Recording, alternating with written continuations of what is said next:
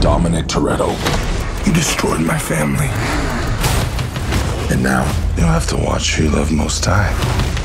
He's coming for you with everything. What's the plan, Dom? I'm not sure anymore. This is your last ride. You made one mistake. You never took my car.